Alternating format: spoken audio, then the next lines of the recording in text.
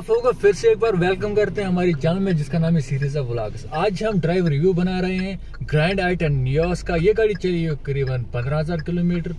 तो हम बताएँगे कि ये गाड़ी अब चलने में कैसी है, क्योंकि ये गाड़ी पंद्रह हज़ार किलोमीटर से ज़्यादा चली हुई है, पेट्रोल में है। इंजन 1200 सीसी का है। ये हमने गाड़ी को फ़र्स्ट गियर में डाला और सेकंड गियर में डाला। बिल्कुल कोई आवाज़ नहीं, कोई शोर शराबा नहीं है, इंजन कोई नॉइज़ नहीं कर रहा है बट स्मूथ चल रहा है इंजन, और हैंडल जो है स्टेयरिंग जो है, बिल्कुल मन्यूवर करना इसको आसान है लाइट है प्रिसाइज है। ये हम कॉर्नर में जा रहे हैं स्पीड बढ़ा रहे हैं थर्ड गियर जो है वो इन्वॉल्व किया हुआ है, और, बिल्कुल कोई नॉइज़ नहीं है, कुछ नहीं है, गाड़ी जो है मक्खन के जैसे चल रही है। और अगर हम ओवरटेकिंग की भी बात करते हैं तो ओवरटेकिंग भी ये गाड़ी जो है आसानी से कर पाती हैं, क्योंकि इंजन दमदार हैं और जानदार है ये। हम ओवरटेकिंग करने की कोशिश कर रहे हैं और की भी हमने ओवरटेकिंग ऑटो जा रहा था, आगे से अचानक से ब्रेक लगा दी थी। और ये गाड़ी जो है, ये 1200 सीसी इंजन के साथ, मगर इंजन जो है बटर स्मूथ है, क्योंकि फोर सिलेंडर इंजन है।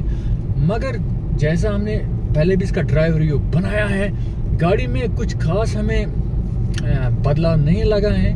बदलाव की अगर हम बात करें थे कि इंजन नॉइज़ और इंजन का रेस्पॉन्स वैसा ही है जैसे डे वन को था।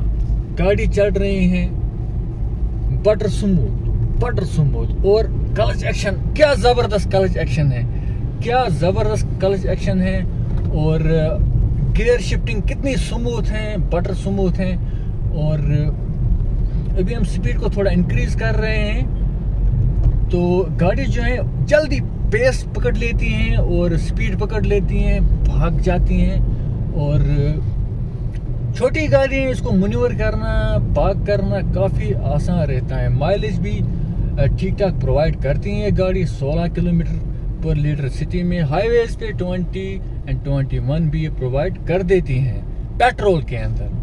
Manual transmission 1.2 Kappa VTVT engine के साथ में आ जाती हैं। ए पिलर भी ज़्यादा मोटा है नहीं तो कॉर्नर्स में आपको मोड़ते कोई दिक्कत आती नहीं है। सीट्स की कुशनिंग की अगर हम बात करते हैं तो फ्रंट सीट की जो कुशनिंग है ठीक ठाक है और बेहतर हो सकती थी।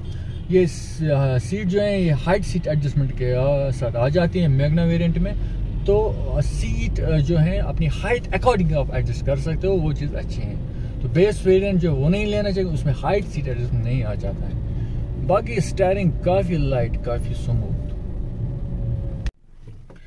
गाइस अभी हम इस गाड़ी को थोड़ा बहुत उबट खाबट रास्ते पे चलाएँगे और सस्पेंशन देखेंगे कि सस्पेंशन कैसे हैं। गड्ढों की नाइज थोड़ी बहुत अंदर ज़रूर आती हैं। सस्पेंशन जो है वो इसको सिटी के हिसाब से ट्यून किए गए हैं।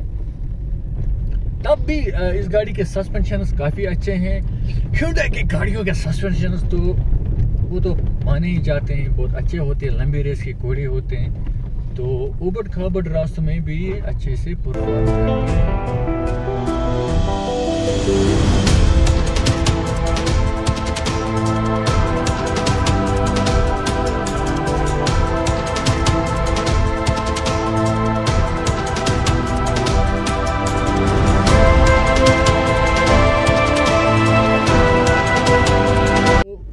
गैस मैंने आपको बोला, ये गाड़ी बिल्कुल रिकमेंडेड है आज के डेट के अंदर भी, क्योंकि इंजन जो इसका है, काफ़ी बटर स्मूथ है और शोर शराबा जो बिल्कुल भी नहीं करता है। गाड़ी की इंसुलेशन भी काफ़ी अच्छी है। साइलेंट केबिन है, जो लोग जो है साइलेंस पसंद कर साइलेंट केबिन पसंद साइलेंट इंजन पसंद करते हैं। और गेयर एक्शन जो है, वो स्मूथ है और कलच काफ़ी ज़्यादा लाइट है। वो पसंद करते हैं तो उनको ये गाड़ी ज़रूर लेनी चाहिए।